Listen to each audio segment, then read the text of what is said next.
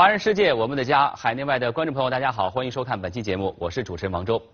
节目开始之前呢，请大家注意，我们屏幕的右下方啊有一个二维码，只要您用手机微信扫一下它，就能够关注我们华人世界栏目的微信公众号了。它定期呢会给您发送精彩的节目信息，另外也欢迎您在公众平台上给我们留言，提供宝贵的新闻线索。好，接下来走进今天的全球华人资讯，目光聚焦中国。继续来关注肉身坐佛事件的进展。由于种种迹象表明，之前在匈牙利展出的这尊肉身坐佛，就是中国被盗文物张公祖师像。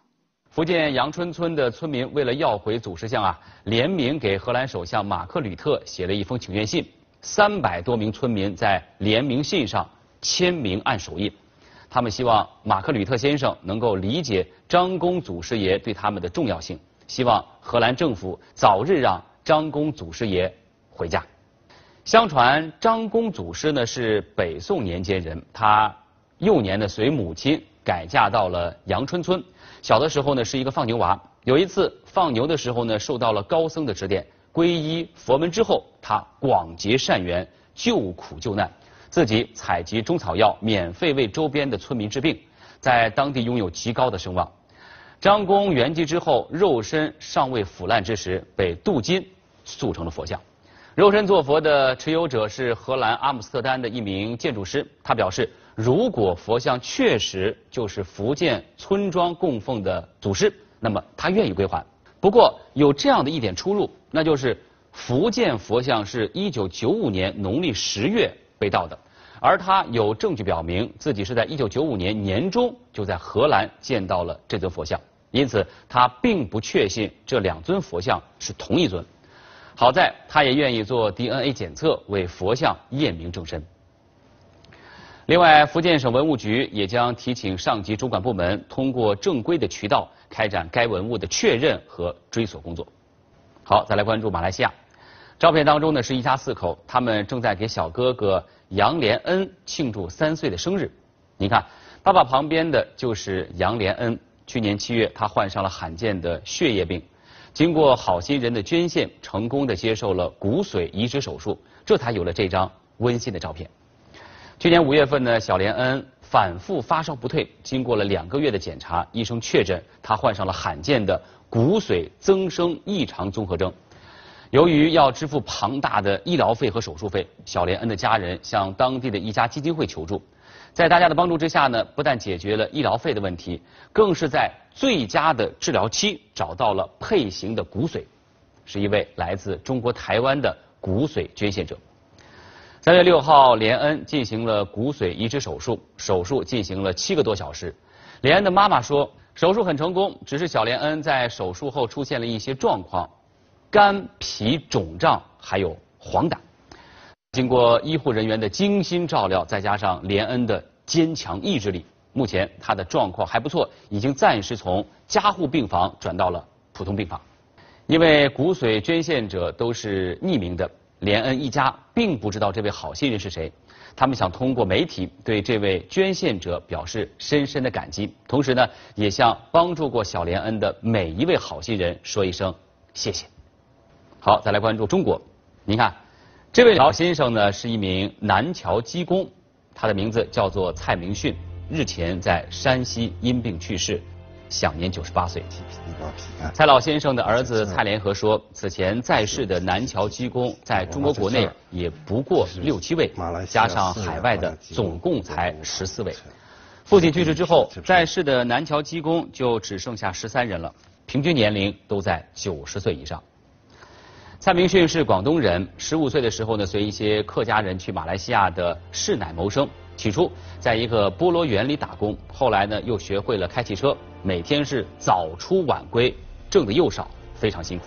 抗战爆发之后，市乃的爱国华侨黄子松响应侨领陈嘉庚的号召，在一九三八年招募了两批爱国青年，参加了南洋华侨机工回国服务团。包括蔡明训在内的十五人，于一九三九年的二月十三号，驾驶着由南洋华侨捐赠的十四辆汽车，经新加坡等地辗转回国。路途遥远不说，途中呢还遭遇到了日军战机的轰炸，历经重重阻难，最终。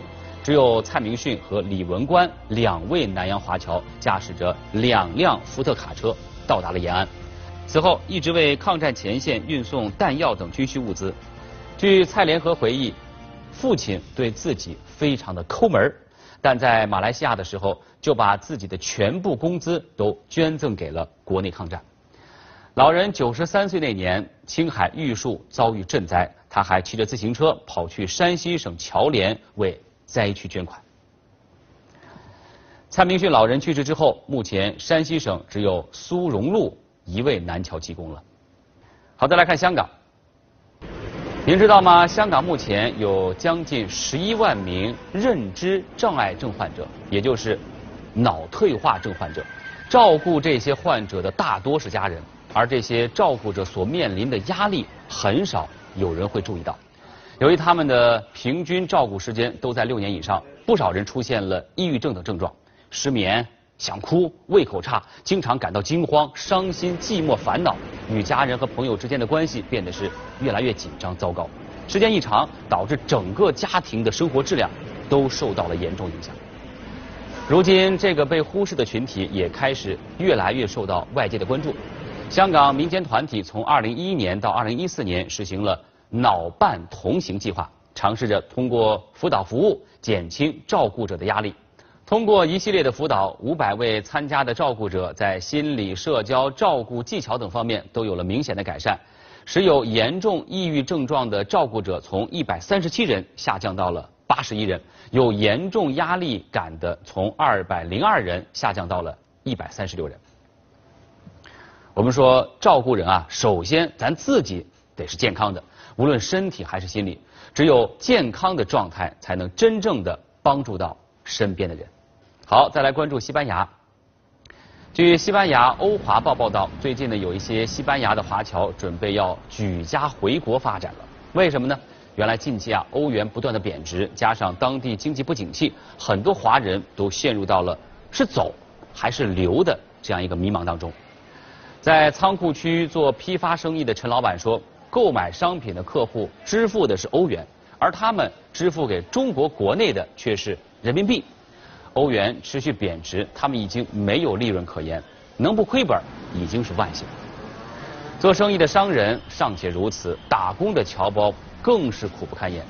侨胞王先生说自己在国外好不容易攒了两万欧元，原想着能够换成十六万元人民币寄给家里，汇率这么一跌，一下子缩水好几万，真是。有苦难言啊！面对欧元下跌，有人欢喜有人忧。那么欢喜的是谁呢？留学生，他们是拿人民币来换欧元使用最多的一个群体。欧元贬值意味着他们可以用更少的花费来完成学业，减轻了家里的负担。好，再来看澳大利亚。画面当中的这些人啊，每人手中缝制的是一块砖。你能想到是哪儿的砖吗？哎，我来告诉您，是中国长城的砖。原来他们都是澳大利亚的布雕爱好者，带着他们缝砖的人就是他。对，说话的这位刘鑫，今年五十八岁。近日呢，由他发起的万人共筑布雕长城在北京正式启动了。长城是中华民族的象征，中华民族的脊梁，不是一个人能够做的，是大家的力量才能做出来的巨作。嗯，能够把华人都连接起来哈，也是我的最大的愿望了。这幅作品完成之后，长约十八米，高约六米，将用我手中的这个小方块拼接完成。那么您知道，这么大的一幅布雕作品需要多少块这样的小方块吗？我告诉您，一万零八块，也就是需要一万零八个人制作完成。这不。澳大利亚的华人呢已经开始制作了，北京的布雕爱好者也在积极的筹备着。在澳大利亚布雕界呢，刘鑫被称作是顶针夫人，为什么呢？因为2000年他发明的布雕工具压线顶针和拼布针脚龟，从澳大利亚传到了欧洲和美洲，他的布雕作品更是惟妙惟肖，获奖无数。刺绣哈是线的艺术，布雕呢是布的艺术。比如说，你看这个蝴蝶，这些这个黑线是黑布做出来的，然后要把毛边挖下去，所以它那个难度不同，不缝的地方鼓出来，缝的地方陷下去，它这个艺术突出一种软浮雕的效果，这是布雕的标志。据了解，万人共筑布雕长城计划呢是在五月份完成，将会在美国休斯敦国际布雕节展出之后捐赠给中国，作为永久珍藏。目光在聚焦美国。最近，在皇后区大学点经营中餐馆的华裔陈小姐遇到了一群吃霸王餐的客人，让她束手无策。三个白人小年轻点了差不多七七十块钱的东西，吃完了以后，他们就跟我们说，呃，要付款，但是拿了一张银行卡出来，但是我们餐馆也在门前面特别清晰说，我们这边不接受银行卡付款。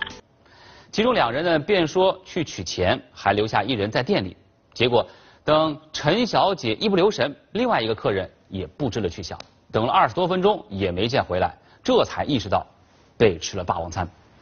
其实呢，不少纽约的中餐馆都遇到过吃霸王餐的客人，他们的手法大多是揪根头发，或者是拿一只虫子放到饭菜里，说餐馆卫生有问题，威胁要向卫生局投诉，然后要求餐馆免单。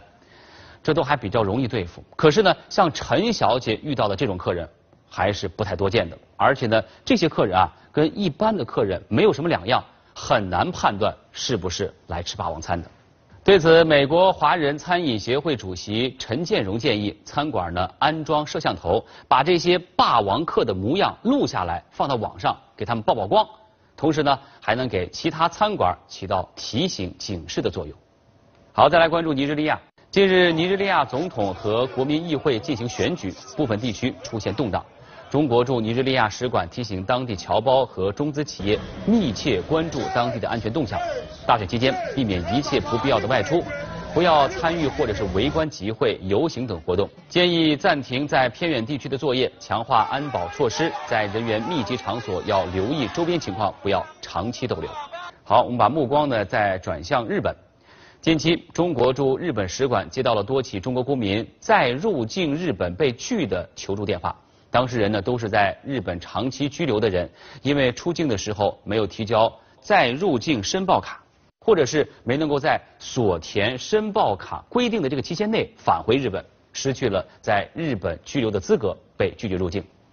根据日本入管法规定啊，在日本长期居留的外国人，如果计划在居留期限内出境后再入境，需要在出境前获得再入境资格。最后再提醒您一句，再入境资格呢是无法在日本境外获得的。再来关注英国，近日英国 BBC 中文网举行2015英国政治与华人社区座谈会，参选英国国会五月大选的四个党派的参选人和代表参加了讨论。这其中呢就有十一名华裔候选人。他们大多是医生、律师、工程师或者是企业家等专业人士，这个数量创下了历史新高。根据英国政府2011年的人口普查，英国华裔居民的人口大约是43万，占到了英国总人口的百分之零点七。虽然是第三大少数民族族裔，但是呢，在议会讨论关乎华人移民问题的时候，华人却很少发声。因此，在政策的起草过程当中，华人的意见并没有得到应有的反应。据我们了解，大多数华人到英国啊，都是从事餐饮业，但都尽力的让他们的孩子能够接受更好的教育。而从小生活在英国的第二代华人，就有了更多的自信，积极的参与政治，希望能够让英国议会和政府高官倾听到华人的声音。好，再来看马其顿，在近日举行的马其顿。斯特鲁加国际诗歌节上，中国诗人北岛被授予最高荣誉金花环奖，成为该奖历史上第二位华裔桂冠诗人。第一位呢是在1998年获奖的中国诗人绿园。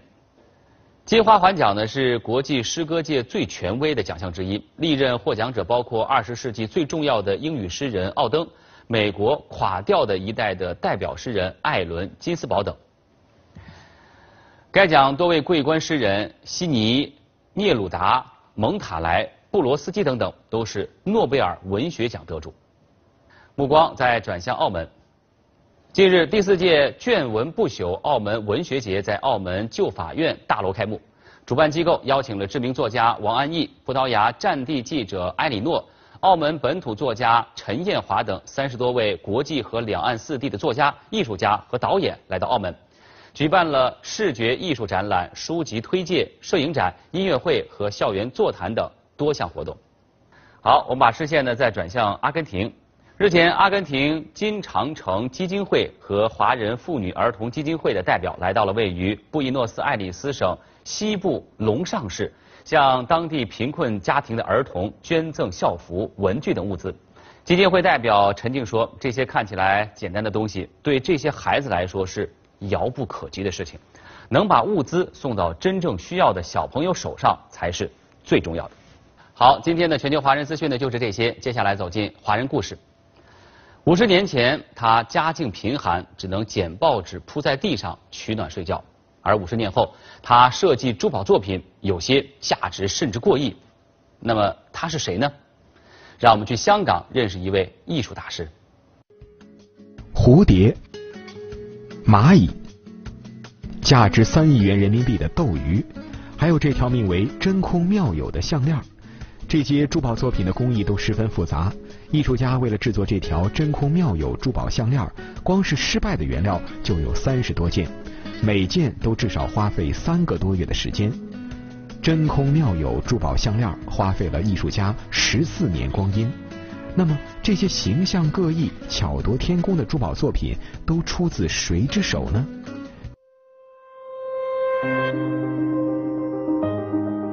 就是他。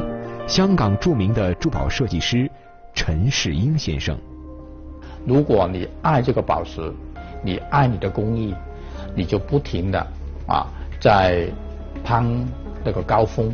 往往攀到一个高峰的时候呢，我们还是要回到我们真正的本性，就是爱上面去。这件珠宝是用红宝石和粉红刚玉镶嵌，以黄金为骨架制作而成。鸟的嘴上是一颗六点六克拉的黄钻，而且这枚胸针足足有十五厘米长。那么，这么大的珠宝能戴在身上吗？我把钻石的那个呃感觉还有光彩完全展现的比它原来的更亮丽，但是戴起来呢呃都会变形，大家没办法戴超过五分钟，那这个就失去了一个珠宝的意义。陈世英不允许自己的作品有半点瑕疵，他决定使用比黄金重量更轻的金属。他发现钛的重量不到黄金的五分之一，记忆性却是黄金的十倍，可以用很小的爪把宝石固定，让更多的光进入到宝石的空间，反射更加丰富多彩的光芒。但他很快就发现，想把钛金属打造成自己想要的形状，并不容易。那个时候也不能去去去把它从固态变液态的，用火怎么烧它都不会不会不会流动的。可以说在这个创作跟施工的时候呢，就是好像往死里撞啊，撞到没得撞，也把自己死掉啊，不管怎么样都要把它完成。经历了八年的研究和实验，陈世英终于掌握了钛金属的核心技术。二零零九年。陈世英带了十六件用钛金属制作而成的珠宝作品来到瑞士，自己出资在巴塞尔珠宝展期间开办了一个发布会。这一革命性的成果震惊了西方珠宝界，也解决了珠宝界多年来一大发展难题。二零一二年，陈世英获邀参加在法国巴黎大皇宫举行的第二十六届巴黎古董双年展。成为史上首位在巴黎大皇宫获邀参展的华人珠宝艺术家。他展出的作品总价值超过十九亿元人民币，其中他制作的一套名为《长城》的珠宝作品，价值约为四亿六千万人民币，创下了当年双年展的价格之最。他精美绝伦的珠宝作品也吸引了时尚名人卡尔拉格斐、影视明星苏菲玛索等众多名流亲临展厅。如此璀璨夺目的珠宝作品，也吸引了很多世界顶级珠宝厂商请陈世英担任珠宝设计总监，并开出了极具诱惑的条件。啊，一家公司他一年呢就给付我一千万美元。呃的一个设置费，啊，结果我拒绝了，然后他没有两分钟就加到两千万，嗯，那最后他觉得三千万你应该会签下来了，所以下午一年三千万美元的设计费，对，有三年的一个合同，那我觉得如果我卖掉了三年的我的灵魂，我的创意的话呢，我觉得我存在是没有意义了。陈世英最终拒绝了这家珠宝品牌。对于他来说，不重复自己追求创新，才是自己永恒的追求。这个蚂蚁呢，有两颗珍珠。这个天然的珍珠呢，其实在很多的珍珠里面，我看见这两颗呢，有点如果配合起来，有点像蚂蚁。所以呢，其他的部分呢，我就把它设计变成蚂蚁。这里就是香港的太平山顶，也是香港比较有名的一个清静的地方。陈先生呢，有时候会来这儿寻找灵感。哦，陈先生，您这是在在做一个蚂蚁？是的。那以前我看到这个蚂蚁的时候呢，我有时候会把它抓回家的。嗯。抓回家一直研究它的动态。好像现在你看它那个那个动作，就是在洗脸的那种感觉呢，是特别的好玩。就像您那个作品中，它在挥舞着那个是的前爪，是的。这边的蝴蝶也很多品种的啊，你看到这个呃白的啊啊灰的，那有时候我们没办法抓住它实际的那个形象和色彩的时候呢，我也会用水晶把它雕得很模糊的。正是由于对自然界弱小精灵的好奇，陈世英创作出了自己的蝴蝶系列珠宝作品。这是一件名叫《织女》的作品，宝石里面是一只真实的蝴蝶标本，把天然的蝴蝶标本作为珠宝的一部分，然后在蝴蝶的翅膀上镶嵌水晶和宝石，用光在水晶里产生的折射，又将蝴蝶的特殊斑点折射回宝石上，整件作品让人叹为观止。那么，陈世英是如何成为一名珠宝设计师的呢？陈世英一九五六年出生于福建，五岁时跟随父母来到香港。因为家境贫困，陈世英只读了三年小学，就辍学，跟着家里的大人一起做事。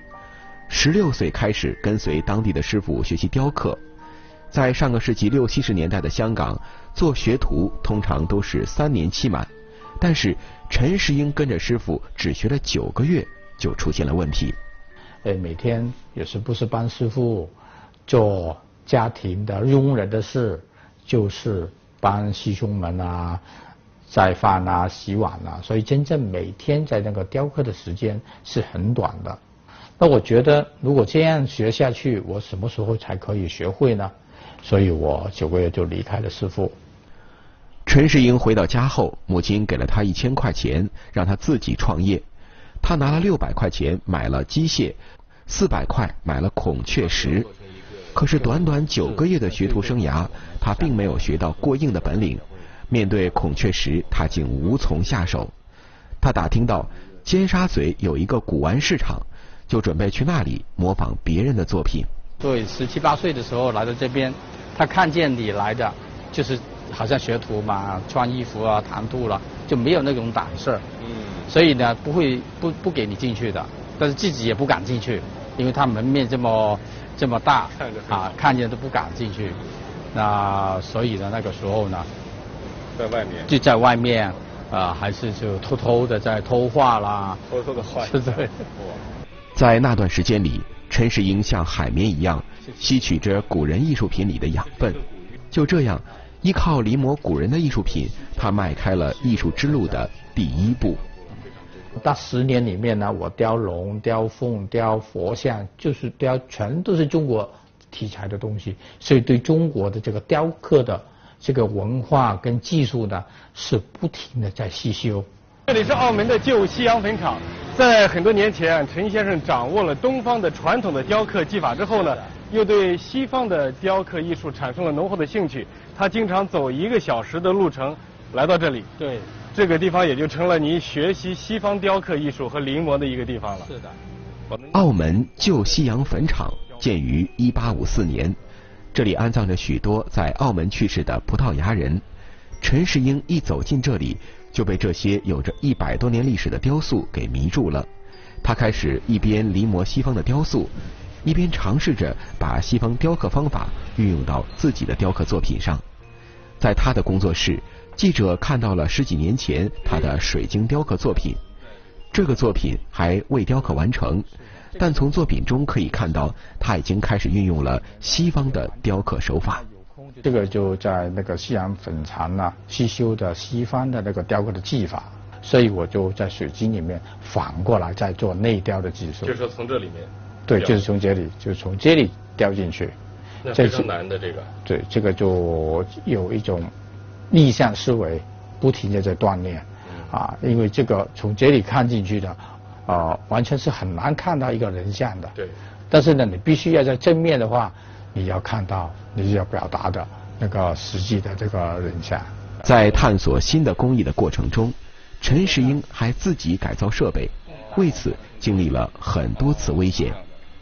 这这这要操作不好还是比较危险的。这个这个比较危险，所以一开机的话就会这样。力量那么大。对呀。所以那个时候呢就不小心了，啊，我那个呢这个盘是自己做的，所以就是这个双步镜从这里一飞出来，就跑到这边来。哦，这是当年这个不小心给受伤了。是的，对。就是被这个这个刀给磨。这比这个更锋利的。哦。这个不不是很锋利。为了探索新的切割工艺，陈世英受伤不止这一次。在那段时间里，陈世英几乎完全放弃了手上赚钱的灵活，全身心的投入到对新工艺的创作上。他的生活一度变得非常的艰难。啊，那剩下那个米啊，大概一个一个小杯这么多，但是要分三天煮稀饭来吃。这么一杯米要自己要分成三天来煮稀饭吃，是。那生活太困难。天道酬勤，在经历了无数次的失败后。陈世英终于在三十三岁那年，将传统浮雕、阴雕和宝石切割技术融于一炉，始创五面倒影雕刻法，并用这套独特的雕刻方法创作了珠宝作品《荷拉女神》。在这件作品中，陈世英只是在水晶上雕刻了一个面，通过特殊的切割方法，折射出来却有五个面。正是这件作品，让珠宝设计界认识了陈世英这个名字。珠宝界把陈世英创立的五面倒影切割法称为“世英切割法”，从此也奠定了他世界顶级珠宝大师的地位。据我所知，陈世英呢还向世界公开了自己掌握的钛金属核心技术，只为激励自己在珠宝设计艺术上更进一步。